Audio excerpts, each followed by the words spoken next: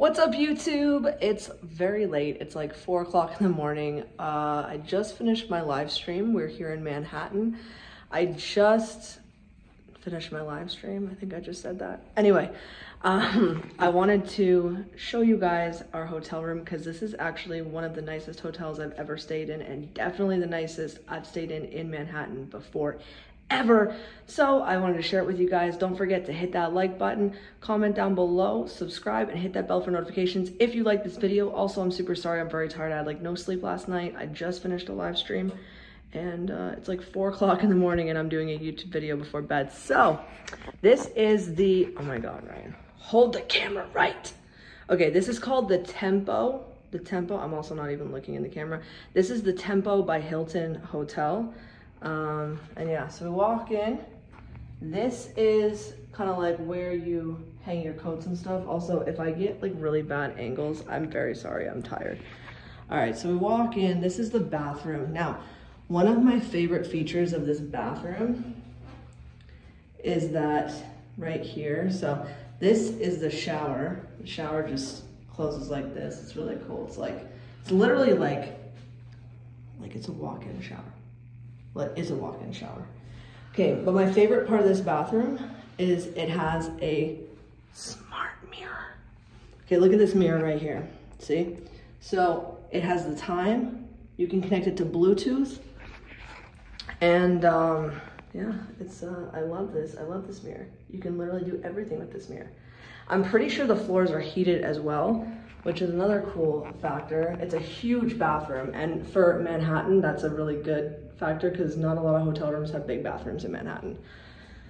Um, then we go over here, we go to the bedroom, and I'm gonna get Alana to assist me with this next part. So this is a desk. We've got um, a bed. I don't know if this is a king size bed, but there's like a sofa and floors. And right over here, you'll notice there's a bunch of switches beside the bed. And when you click one of them, it's gonna open these curtains, which is like the coolest thing. And you guys need to check out this view because this view is amazing. Oh, that's the lights. We want the, the drapes. Drapes.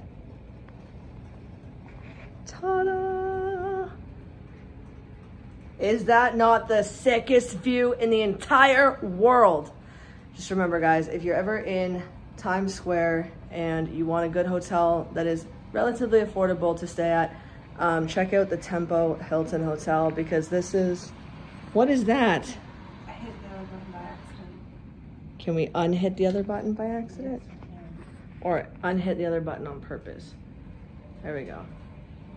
There we go. That's the view that everybody came here to see. No, this is actually one of the best views I've ever had in a hotel room ever. I love this room. As you can see, we've got all my live stream work stuff in the background. And uh, there's Alana. This is one of my favorite, favorite hotel rooms I've ever stayed at. It's quite spacious for a Manhattan hotel. It's got a really good bathroom. It's got the smart mirror. It's got the view. It's got the nice big bed and the couch and the TV and the heated floors in the bathroom. It's amazing. I love this hotel.